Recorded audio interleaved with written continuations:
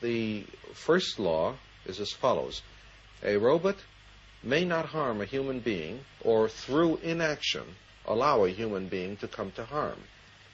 Number two, a robot must obey orders given it by qualified personnel unless those orders violate rule number one. In other words, a robot can't be ordered to kill a human being. Uh, rule number three, a robot must protect its own existence. After all, it's an expensive piece of equipment.